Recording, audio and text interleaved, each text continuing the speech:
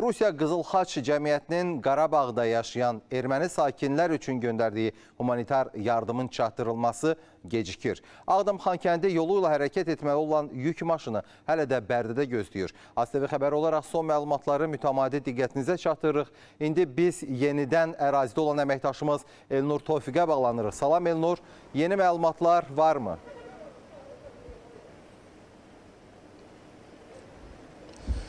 Salam Ruslan, vaxtınız xeyir olsun. Bəli, Rusiyadan Azərbaycanın Qarabağ iqtisadi zonasında yaşayan erməni əsilli vətəndaşlar üçün göndərilən ə, ərzaq və qeyri-ərzaq yükünə ibarət bir avtomobil hələ də Bərdə rayonunda gözləmədədir və bu avtomobilin Ağdam ə, Xankəndi yolu ilə hərəkət etməsi planlaşdırılsa da, məhz Beynəlxalq Qızıl Xaç Komitəsinin ə, işə müdaxiləsindən, daha doğrusu təxribatından sonra avtomobil hərəkətsiz olaraq Bərdədə qalıb. Əslində Ağdam Xankəndi yolundan yüklərin daşınmasını Azərbaycan tərəfi dəfələrlə e, bildirib, açıq şəkildə bəyan edib ki, məhz e, Qarabağ iqtisadi zonasında yaşayan erməni əsilli vətəndaşlar üçün yüklər yalnız Ağdam Xankəndi yolu ilə daşına bilər və bu yolun açılması həm də ərazilərimizdə yaşayan ermənilərin belə normal bir cəmiyyətə, yəni Azərbaycan cəmiyyətinə inteqrasiyasına, reinteqrasiyasının da bir e, sürətləndirilməsinə də bir e, təkan verəcək və çünki Azərbaycan tərəfi dəfələrlə bəyan edib ki, ərazilərimizdə yaşayan sadə erməni vətəndaşların e, həm sağlamlığı, təhlükəsizliyi, onların təminatını biz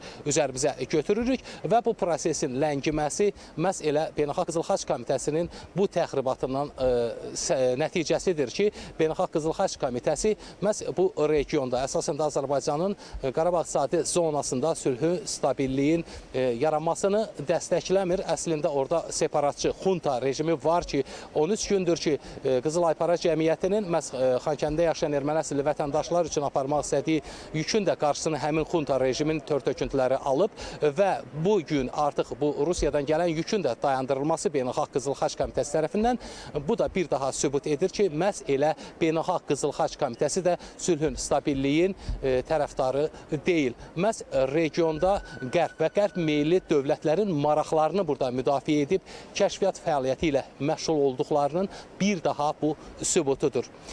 Hələ ki, yük avtomobili yerində qalır. Biz də televiziya olaraq hadisələrin inkişafını hər iki məkandan, həm elə mənim dayandığım ə, Bərdədən, həm də əməkdaşımız Kamil Eldaroğlunun ə, Ağdam Xankəndi yolundan, yəni həmin ərazidən hadisələrin inkişafını izləyirik və çalışırıq ki, hər saat başı canlı bağlantılarla burada baş verənlər haqqında məlumatları sizinlə və tamaşaçılarımızla bölüşək.